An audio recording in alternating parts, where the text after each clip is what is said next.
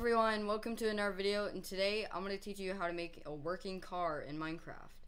And it's actually really simple. So right before we get into the tutorial be sure to like, subscribe, share this with your friends and yeah let's just get right into it. So what you'll need is slime blocks, sticky pistons, piston, uh, stained glass of any color, uh, black concrete, uh, um, some con other, more concrete or wool of any color of your choice and an observer. So let's get right into it.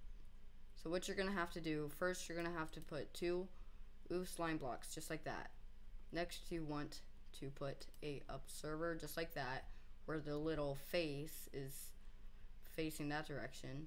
And then you want to put a piston, just a normal piston right there. Next you get the black concrete put it on both sides. It's that is going to represent the uh, tires. Now, get any color I'm of your choice for wool or concrete. I'm gonna use red because I already used blue. So now you're already halfway done. That's how easy this is to build. Now what you want to do is put an observer just like that and put a sticky piston just right there.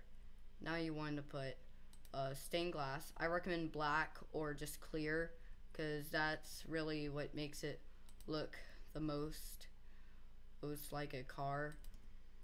Anyways, you just put the next three slime blocks just like that.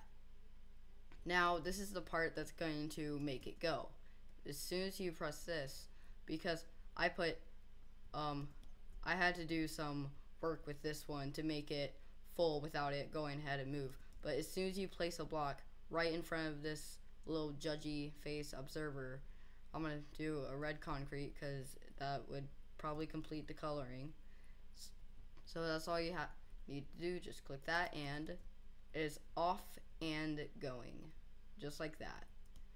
Sadly, the sad part, you have to have like bedrock or obsidian or it's going to just not move because what happened because of the slime blocks it's going to try to grab onto the blocks below and it just what happened it would be too much and it can't move the entire world so it was just it was just but obsidian and bedrock you can't push with a piston or anything so yeah pretty much it.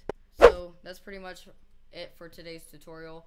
Before the video ends i just got to give a quick shout out to the extreme YouTuber. He's a friend of mine. You can see him in the link in the description. Thank you for thank you for watching. Share this with, share this with your friends. Like, subscribe, ring the bell, and yeah, bye